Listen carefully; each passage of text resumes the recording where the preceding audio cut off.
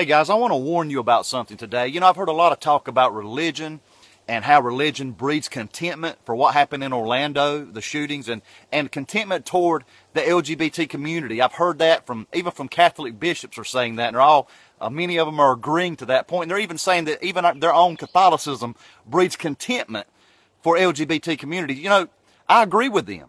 What they have is religion.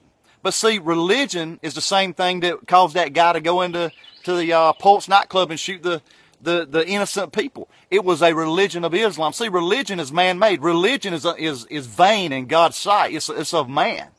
And pure religion, true religion, is not vain. It's not about ourselves, but it's about God. You know, Islam teaches that we, they should kill for Allah.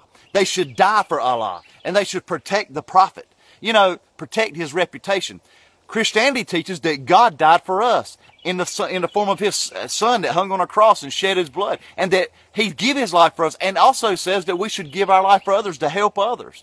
You know, that's pure religion and undefiled before God when we love people and when we keep ourselves unspotted from this world.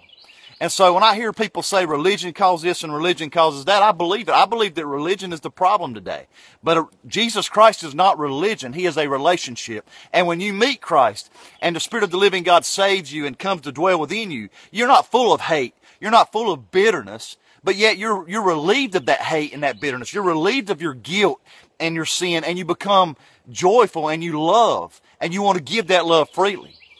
And then, you know, talking about guns, it's just an opportunity for these people to, to come out against guns. I grew up with guns all my life. I've never had one of my guns jump out of the gun cabinet and attack me. I've been sitting in tree stands. I've never had my gun turn on me and try to kill me.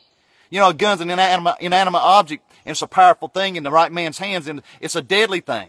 But you know, I, I heard also the statement was made that our founding fathers would not agree with assault weapons today, that they wouldn't want that. I think uh, Bishop Lynch said that out of Florida. You know, listen, every weapon that our founding fathers had was an assault weapon to them.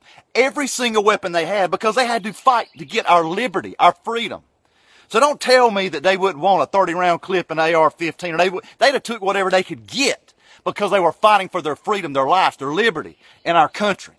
And that Second Amendment means exactly what it says. And anytime someone wants to try to take our arms from us, we need to be aware of that. And anytime somebody wants to take in mold religion to try to turn it inwardly on Christians, we need to be aware of that. The Bible says in 1 Timothy chapter 4 verse 1, I believe it's 1 Timothy, it says, the Spirit speaks expressly that in the latter days some shall depart from the truth, from the faith, and they'll give heed to seducing spirits and doctrines of devils. There's a seduction out there to draw Christians away from the faith and say, listen, maybe you shouldn't stand against the LGBT community because of what's happened. Uh, maybe you should accept their sin or maybe you should accept this group. Listen, it's not about accepting a person.